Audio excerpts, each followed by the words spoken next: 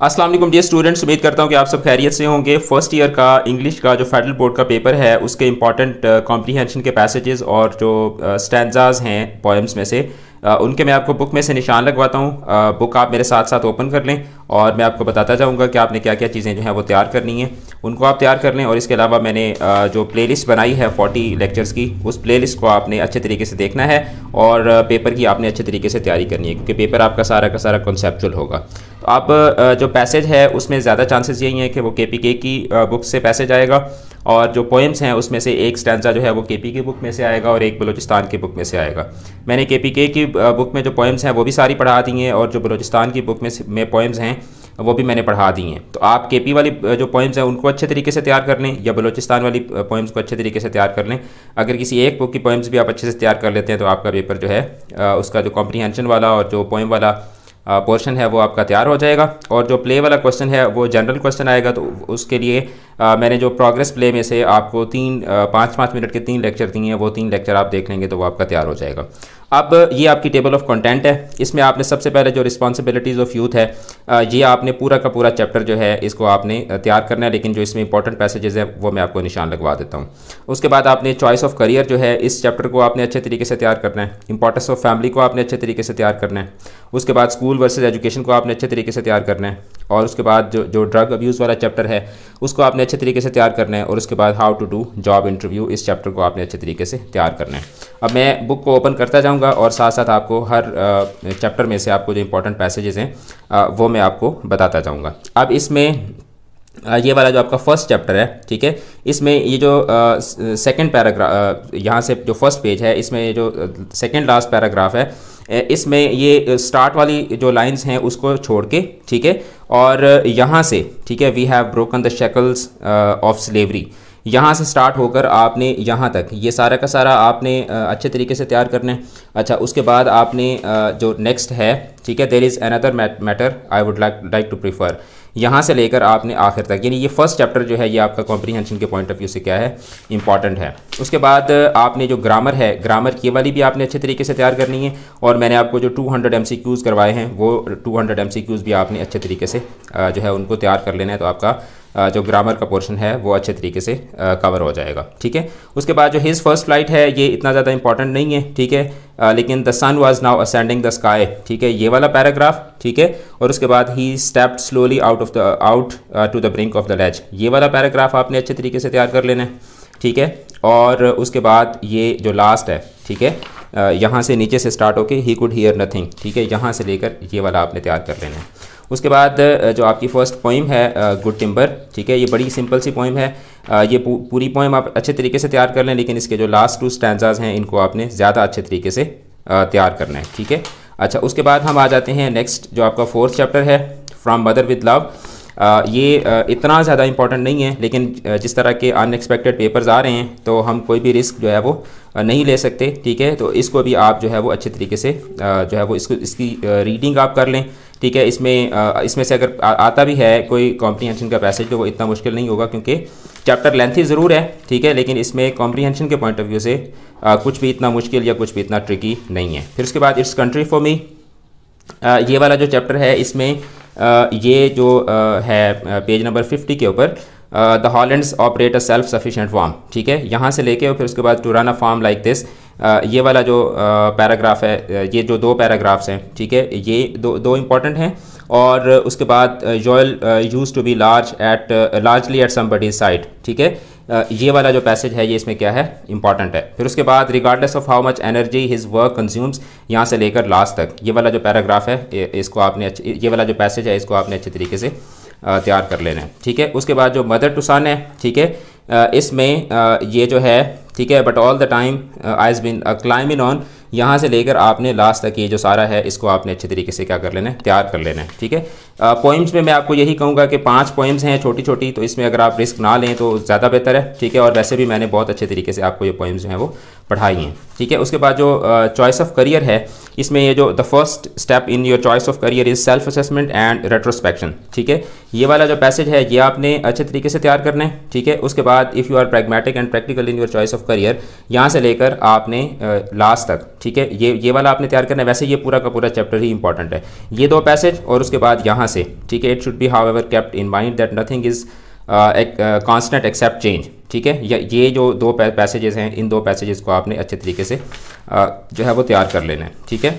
उसके बाद जो लेटर राइटिंग का फॉर्मेट है, वो आप ये वाला फॉर्मेट भी फॉलो कर सकते हैं, ठीक है? लेकिन जो मैंने आपको फॉर्मेट बताया है डिटेल के साथ, उस फॉर्मेट को भी आप जो है वो अच्छे तरीके से फॉलो कर सकते हैं। उसके बाद जो वेस्ट लैंड है, ठीक है? इसमें what manner of man and women need thirty feet of steel यहाँ से लेके उसके बाद यहाँ तक, ठीक है? मेकिंग पॉइजन ऑफ़ वाटर लेकिन इसमें से बहुत कम चांसेस हैं कि इस uh, uh, जो ये जो चैप्टर है इसमें से आपका कॉम्प्रीहेंशन का पैसेज आएगा। उसके बाद uh, जो द वाइट लैम्प है ठीक है ये इतना ज़्यादा इंपॉर्टेंट नहीं है क्योंकि ये स्टोरीज़ हैं ठीक है तो स्टोरीज़ में से बहुत कम जो है वो कॉम्प्रीहेंशन के पैसेजेस जो हैं वो बनाए जाते होते हैं। अच्छा उसके बाद हम आ, लेकिन इसकी जो ग्रामर है वो आपने अच्छे तरीके से कर लेनी है खासतौर पर ये जो अकॉर्डिंग टू एक्सपर्ट्स ये वाला जो ग्रामर का पोर्शन है आ, इसको आपने अच्छे तरीके से तैयार कर लेना है ठीक है? उसके बाद ग्रामर आपने इस बुक की बिल्कुल भी नहीं छोड़नी। The word is too much with us इसका जो लास्ट uh, जो जो स्टैंडा है इसको आपने अच्छे तरीके से तैयार कर लेना है लेकिन अगेन हर पॉइंट पे मैं आपको यही बात कहूँगा कि पोइम्स आपने पोइम्स में बिल्कुल भी रिस्क नहीं लेना ठीक है? उसके बाद जो इंपॉर्टेंस ऑफ़ फैमिली है ये पूरा का पूरा जो चैप्टर है ये पूरा का पूरा चैप्टर ही इंपॉर्टेंट है, लेकिन इसका जो फ़र्स्ट पैसेज है, ठीक है फ़र्स्ट पैराग्राफ ठीक है टू अंडरस्टैंड हाउ क्रूशियल यहाँ से लेके और उसके बाद देयर लीडर्स ठीक है, ये वाला पैसेज भी इंपॉर्टेंट है, उसके बाद जो सेकेंड पैसेज है, ये भी इसका इंपॉर्टेंट है और third passage history of the world economics ये, बल्कि मैं तो आपको ये कहूँगा कि ये पूरा चैप्टर अगर आप कर लेते हैं तो बहुत अच्छी बात होगी, क्योंकि ये सारा का सारा चैप्टर जो है, ये कॉम्प्रीहेंशन के पॉइंट ऑफ़ व्यू से बहुत ही इंपॉर्टेंट है और बहुत फेवरेबल भी है कि अगर कोई भी एग्जामिनर अगर पेपर बनाता है तो वो इस तरह के जो पैसेजेस होते हैं, इस तरह के जो चैप्टर्स होते हैं, उनको वो क्या करता है? प्रेफर करता है। उसके बाद जो द ब्लैंकेट है ये कॉम्प्रीहेंशन के पॉइंट ऑफ़ व्यू से इतना इंपॉर्टेंट नहीं है। फिर उसके बाद जो ओजी मैंडियस है ओजी मैंडियस पूरी की पूरी पोएम इंपॉर्टेंट है, ठीक है? लेकिन इसका जो लास्ट जो स्टैंडा है that is the most important one ठीक हो गया? अच्छा उसके बाद a long walk home that is again a story ठीक है? इसमें भी एज सच इतना कुछ इंपॉर्टेंट नहीं है कॉम्प्रीहेंशन के पॉइंट ऑफ़ व्यू से। और है भी ईजी अगर खुदा ना खास्ता इसमें से आता भी है तो आप इसको कर लेंगे। फिर उसके बाद ये वाला जो इसका पोर्शन है ग्रामर का, इसको आपने अच्छे तरीके से तैयार कर कर लेना है, क्योंकि यहाँ से आपको एक एमसीक्यू जो है, वो ऑर्डर ऑफ़ एडजेक्टिव में से ज़रूर आएगा। ठीक है? उसके बाद जो यूनिवर्सिटी डेज़ है, ठीक है ये भी इतना ज़्यादा ग्राम जो है, वो कॉम्प्रीहेंशन के पॉइंट ऑफ़ व्यू से इंपॉर्टेंट नहीं है। ठीक है? तो इसको भी आप जो है, वो अगर चाहें तो स्किप कर सकते हैं। ये ऑर्डर ऑफ़ एडजेक्टिव की अगैन एक्सरसाइज जो है, इसको आपने अच्छे तरीके से तैयार कर लेना है। अच्छा उसके बाद school versus education school versus education is again important ठीक है? इस पूरे चैप्टर को आपने अच्छे तरीके से तैयार कर लेना है, लेकिन इसके जो फ़र्स्ट जो फ़र्स्ट पेज है, फ़र्स्ट पेज को आपने अच्छे तरीके से देख लेना है। ठीक हो गया? अच्छा उसके बाद हम चलते हैं नेक्स्ट चैप्टर की तरफ़। नेक्स्ट आप, आपका जो चैप्टर नंबर सेवनटीन है what you do is what you are ठीक है? इसमें जो फ़र्स्ट जो फ़र्स्ट पैसेज फ़र्स्ट पैराग्राफ है, ये इसमें इंपॉर्टेंट है, ठीक है? और उसके बाद यहाँ से there is a whole category of other people who are just something ये यहाँ से लेके, ठीक है? और उसके बाद यहाँ तक, ठीक है? ये सारा का सारा इंपॉर्टेंट है। और उसके बाद ये जो है आई थिंक सम एंथ्रोपोलॉजिस्ट यहाँ से लेकर लास्ट तक। ये वाला जो लास्ट वाला है that is that is more important one ठीक हो गया? अच्छा उसके बाद आगे हम चलते हैं तो a dream within within a dream आपका एटीन चैप्टर आ जाता है। Uh, ये पूरी की पूरी पोएम इंपॉर्टेंट है लेकिन अगेन इसका जो लास्ट uh, uh, जो स्टैंडा है that is the more important one ठीक है? अच्छा लेकिन आपने इस पूरी पोइम को जो है वो इग्नोर नहीं करना इसमें से कुछ भी। Drug abuse in youth of Pakistan this is the most important one ठीक है? इसको आपने इस चैप्टर को बिल्कुल स्किप नहीं करना।